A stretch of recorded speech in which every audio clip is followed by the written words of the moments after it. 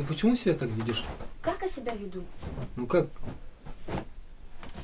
Гости пришли, ты даже не можешь встать, поздороваться. И в 6 утра я должна была тоже вставать, когда примчался, блин, через все поле в 6 утра. И эти тоже, блин.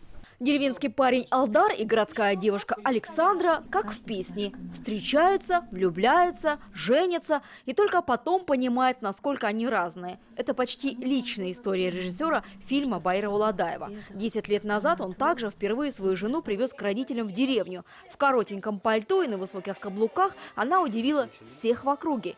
Одел, научил, перевоспитал, опыт есть, а потому и главную роль пришлось играть самому. Самые трудные были моменты, когда мы э, снимали, 9 часов мы снимали в лесу, там лесные кадры были, и холодно, батареи разряжались, мне самому тяжело было, и там, и тут.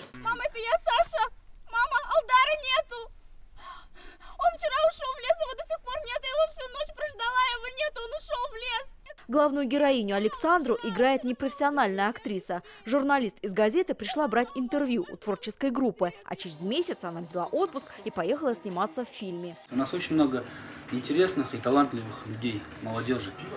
А, бывает так, что на кастинг приходят, а, просматриваешь, и они оказываются, ну, я бы не сказал, что они хуже там играют, да? Конечно, у нас а, нету там школы актерского мастерства и всего остального, да, но есть талантливые ребята. Я, и мы вот в нашей киностудии, мы не думаем, что надо обязательно звать какого-то там московского, да, и, там, или же из других регионов, да, известных а, людей. Просто надо искать лучше и стараться раскрыть человека.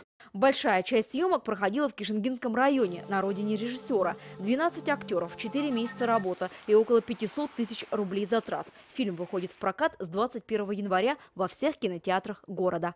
Елена Власова, Дар Чедопов. Новости дня.